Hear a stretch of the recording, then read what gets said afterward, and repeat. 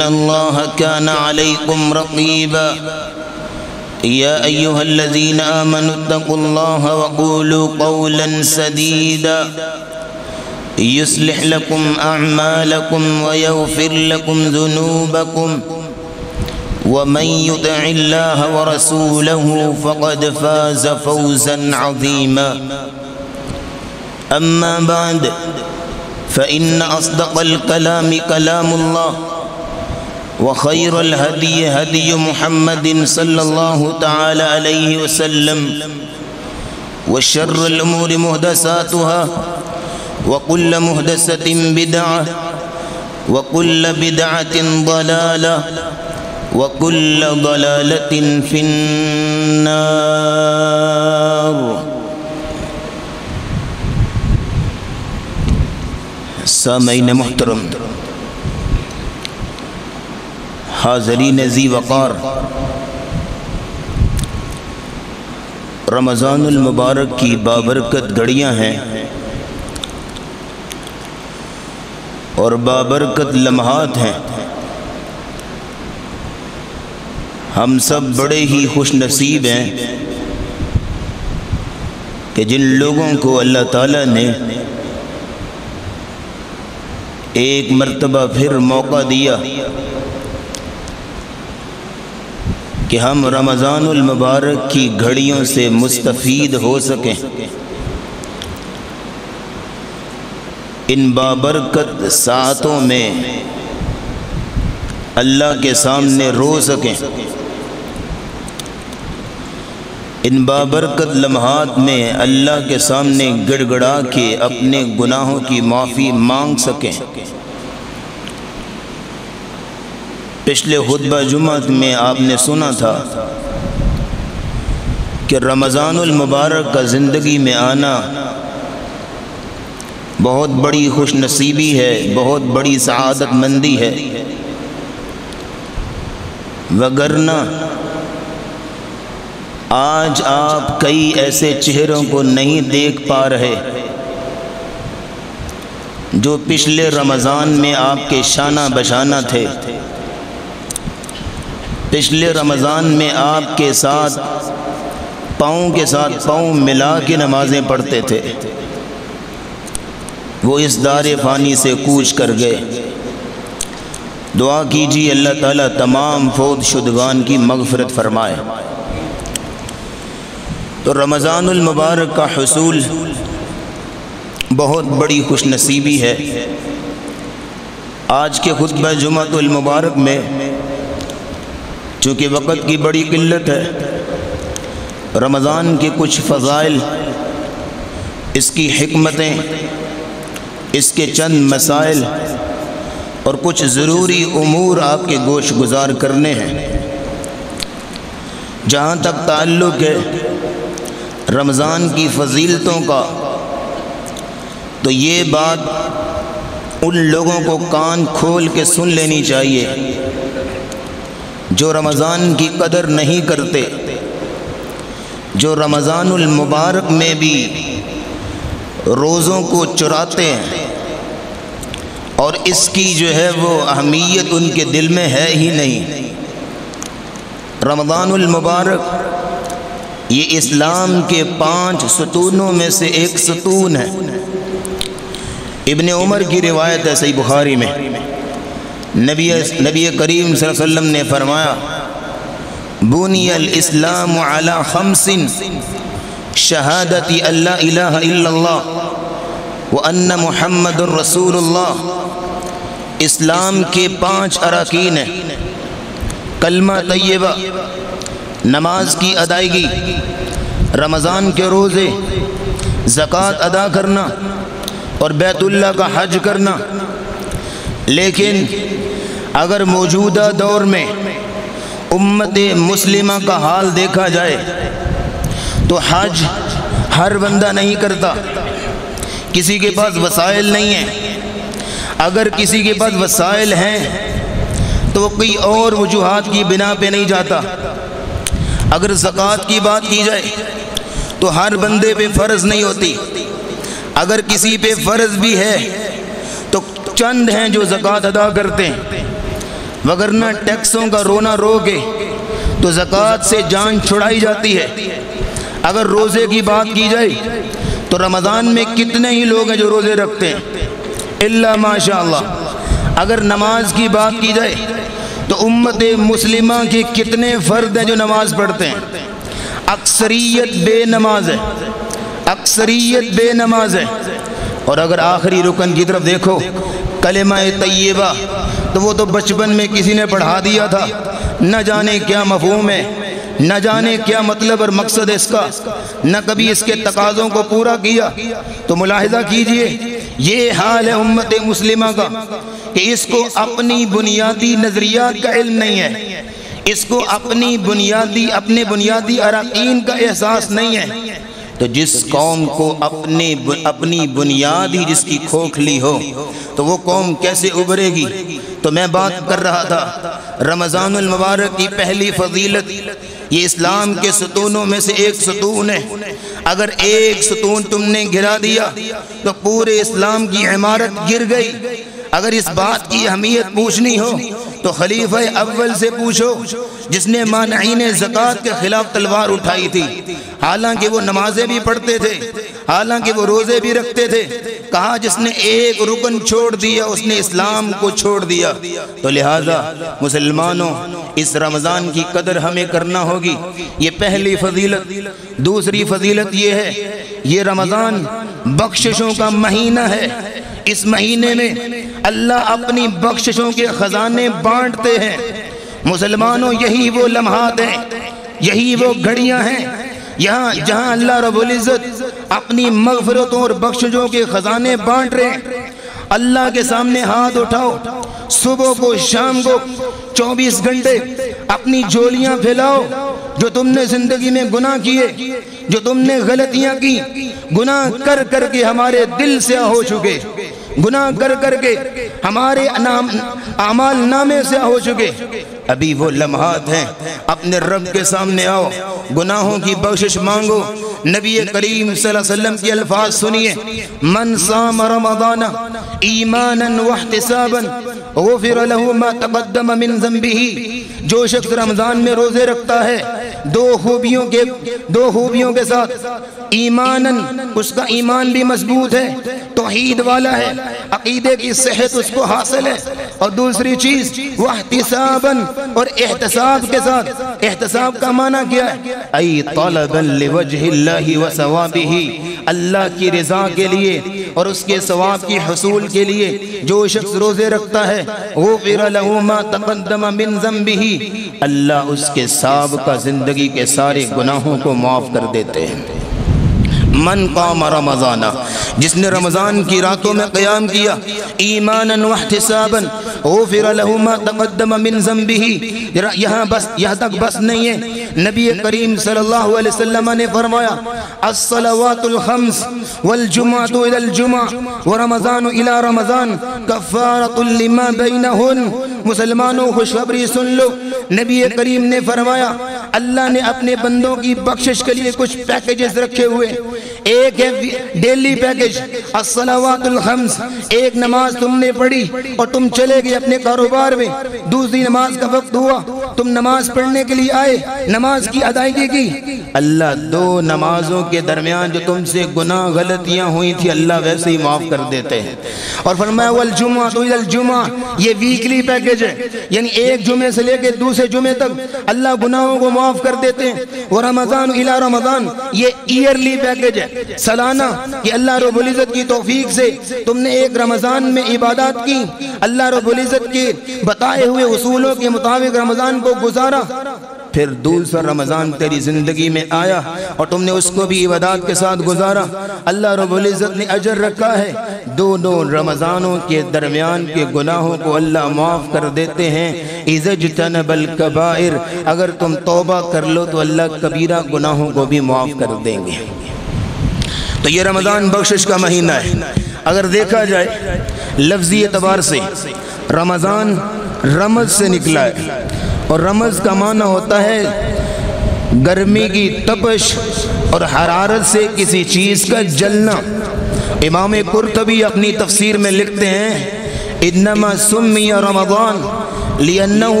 रमज़ान को रमज़ान इसलिए कहा जाता है कि इस, इस महीने के अंदर प्यास की शिद्दत की वजह से भूख की शिद्दत की वजह से और इबादत में थकावट की वजह से अल्लाह रबुल्ज़त अपने बंदों के गुनाहों को जला देते हैं और माफ़ कर देते हैं। ये सआदत ये रहमत और ये बरकत रमज़ान के हिस्से में आई। तीसरी बात और तीसरी फजीलत, ये रमज़ान कुरान का महीना है। ये रमज़ान तिलावत कुरान का महीना है। ये रमज़ान तदब्बर कुरान का महीना है। तजक्र कुरान का महीना है। नजूल कुरान का महीना है। शहर रमज़ान कुरान। ये रमज़ान का वो मुबारक महीना जिसमें कुरान मजीद का नजूल हुआ।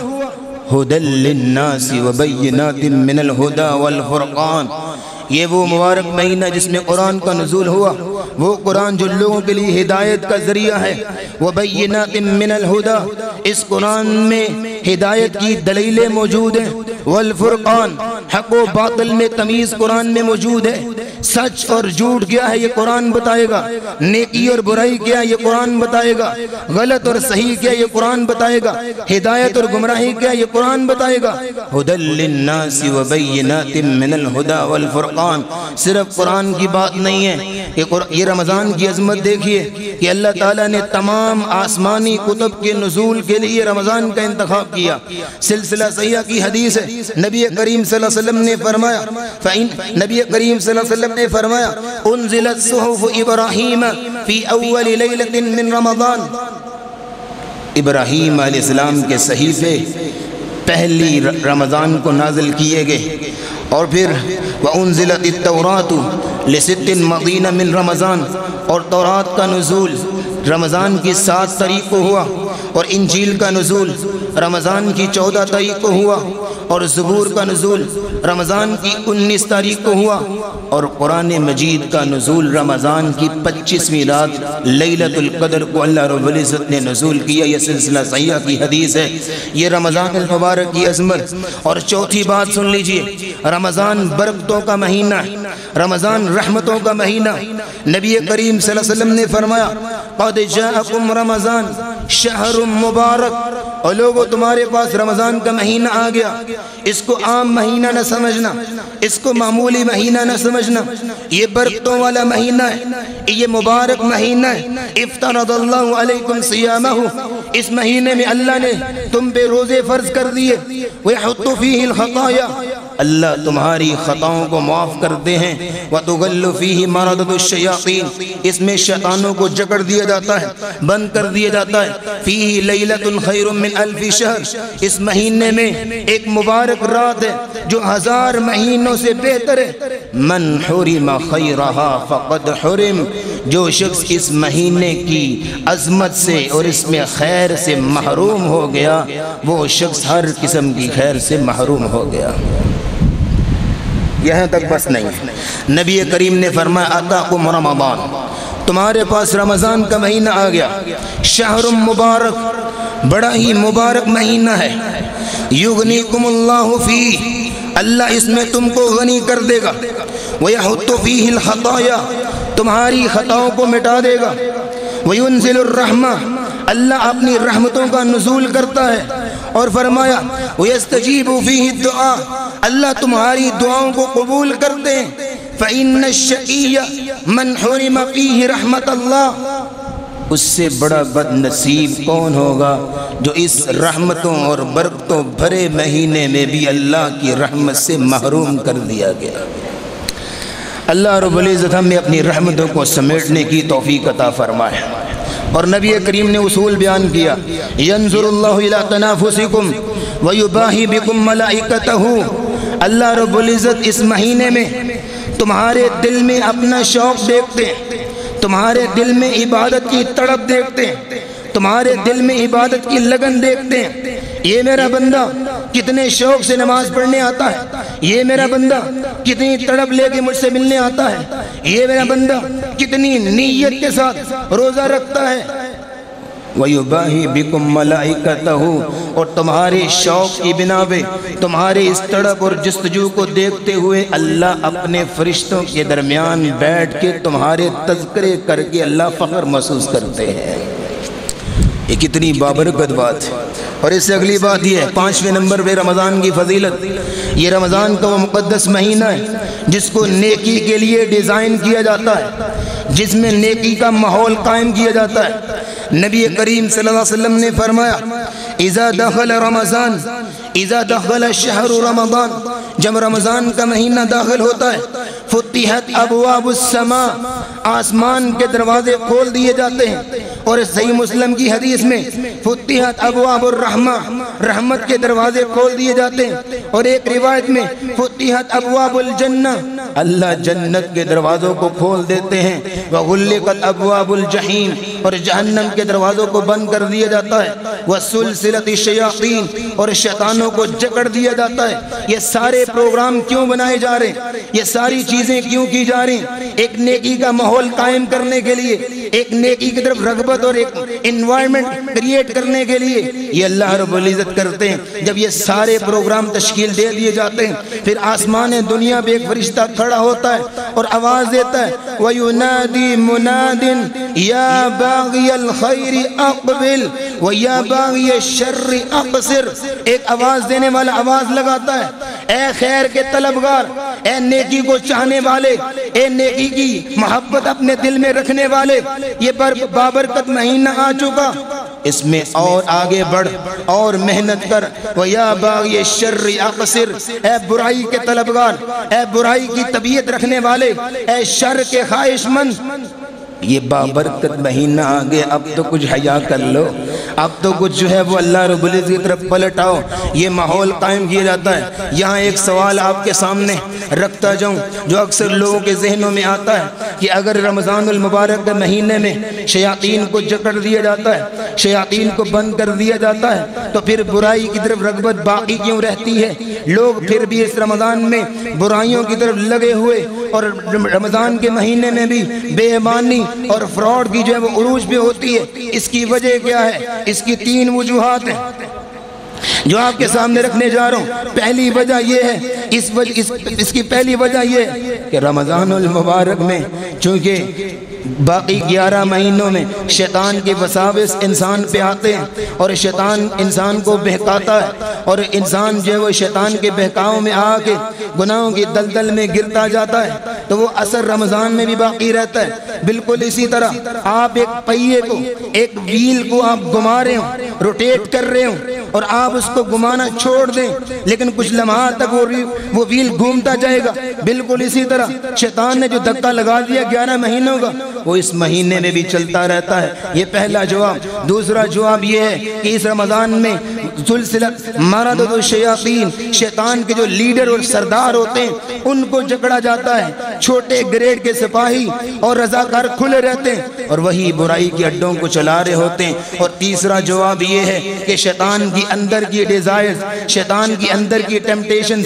इसका जो नफ्स अम्मारा है तुम बिस्सू वो बुराई पे उकसाता है सुर क़यामा में अल्लाह ने उसूल बयान कर दिया बल युरीदुल इंसान लियफजुर अमामा इंसान का जो दिल है इंसान का जो नफ्स है ये बुराई चाहता है इसको गुनाह में लज्जत आती है इसको गुनाह में लुत्फ आता है बस इसी ख्वाहिश की वजह से इंसान गुनाहों की तरफ़ निकलता है अल्लाह ने तो दरवाजे जहन्नम के बंद कर दिए शैतान शैतानों को जकड़ दिया अपनी रहमत के दरवाजे खोल दिए जन्नत के दरवाजे खोल दिए, आसमानों के दरवाजे खोल दिए, ये तुम्हारे लिए नेकी का माहौल कर दिया। लेकिन तुम्हें चाहिए ना कि अपनी अंदर की डिज़ायर्स को कंट्रोल करो। तुम्हारे घर में हम टीवी वैसे ही चल रहा है। तुम्हारे घर में ड्रामे वैसे देखे जा रहे हैं। तुम अफ्तारी के बाद जब वही फ़िल्में देखी जा रहे हो, तुम वही जो है वो फेसबुक पे स्क्रोलिंग किए जा रहे हो। तुम वही, तुमने रमज़ान की अजमत को जाना ही नहीं। अल्लाह ने तो माहौल कायम कर दिया कि तुम आओ अपनी अल्लाह की रहमत समेटो, अल्लाह की बख्शिश के खजानों को समेटो। लेकिन तुमने बंद ना किए। तुमने घर में शैतानी अड्डों को वही, वैसे ही चला रहने दिया, ये बड़ी नाइंसाफ़ी की बात है। मुसलमानों, इस रमज़ान की अजमत को समझो, इस रमज़ान की अजमत को जानो और बरगो और छठी और आखिरी बात रमज़ान की फजीलत में। ये रमज़ान का मुबारक महीना, जिसमें जहन्नम से आज़ादियाँ मिलती हैं। नबी करीम वसल्लम ने फरमाया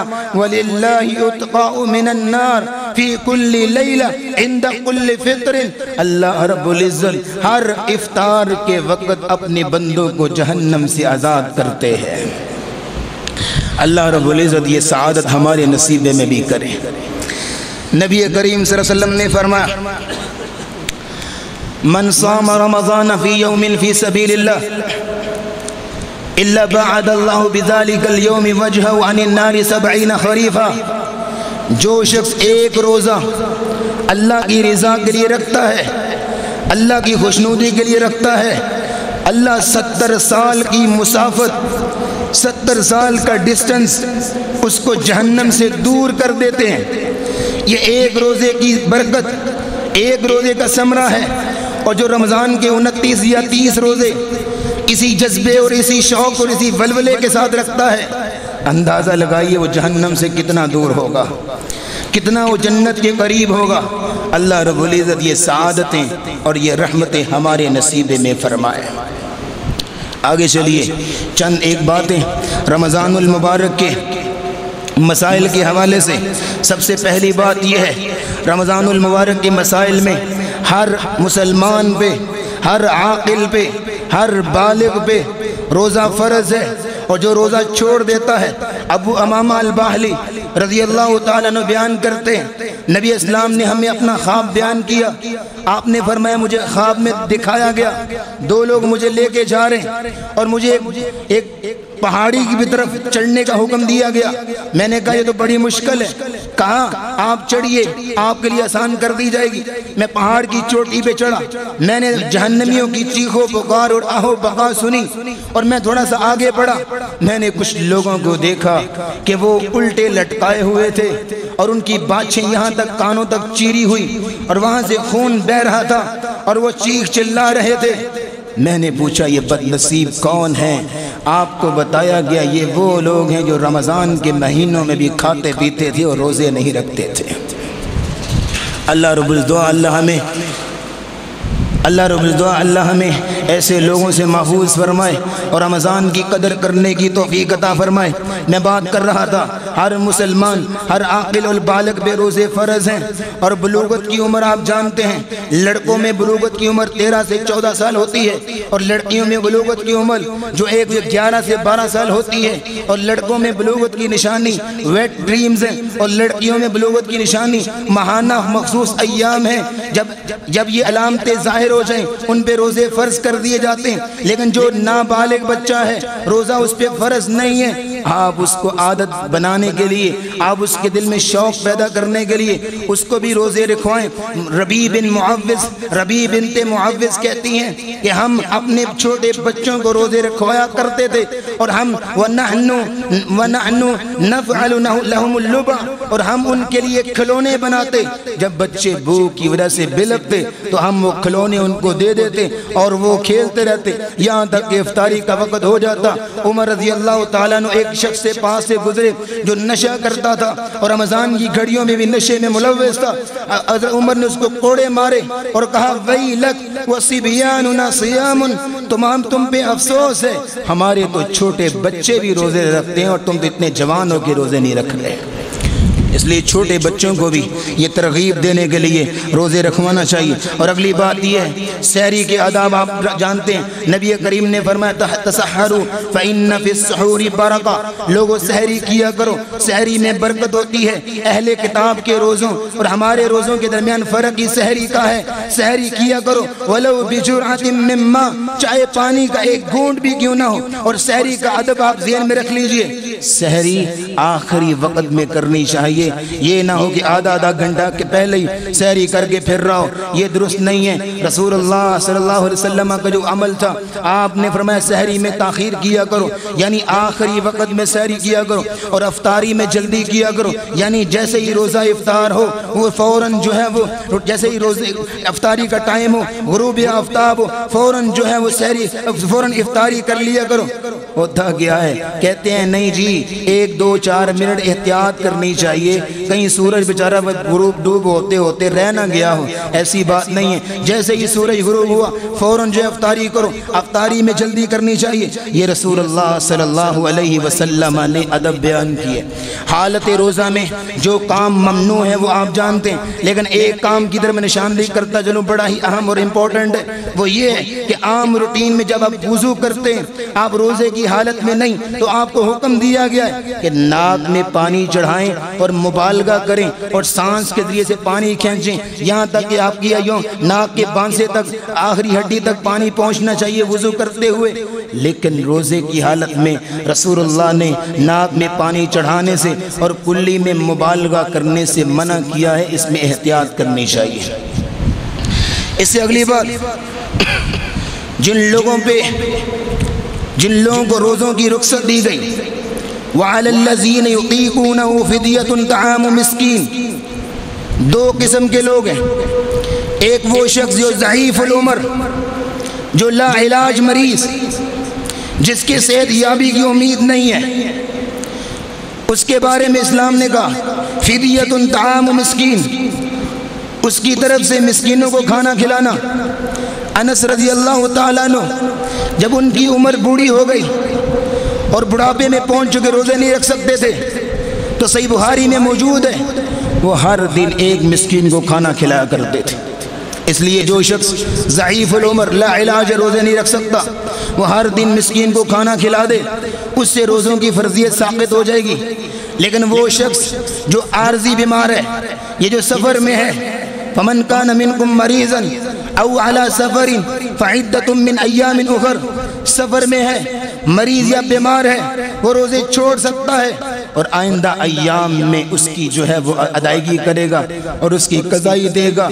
इसी तरह वो औरत जो उम्मीद से है, या वो औरत जो अपने बच्चे को दूध पिलाती है, वो पहले तो ये देखे कि वो रोज़ा रख सकती है। आसानी से कोई परेशानी तो नहीं, कोई तकलीफ़ तो नहीं उसके और उसके बच्चे के लिए। तो फिर रोज़ा रखे, रोज़ा छोड़ने की इसको इजाज़त नहीं है। लेकिन वो समझती है कि वो मशक्क़त महसूस करेगी, उसको या उसके बच्चे को तकलीफ़ होगी।